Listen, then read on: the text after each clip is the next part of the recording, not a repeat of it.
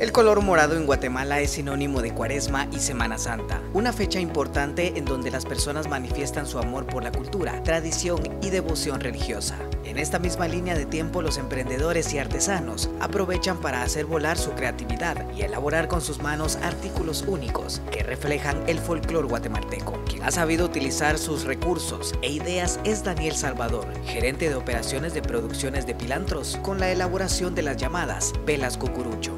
Esta vela nosotros tenemos tres tamaños y estas se llaman cucuruchos, ¿verdad? Eh, hacemos de, también en otros colores, pero por la época nosotros lo hacemos en color morado.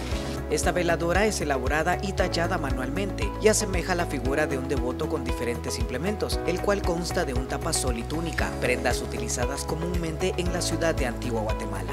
Elaborarla una eh, se lleva unas dos horas, más o menos.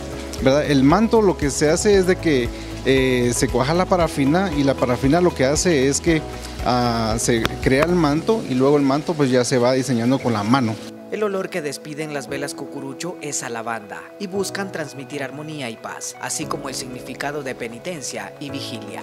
Diario de Centroamérica.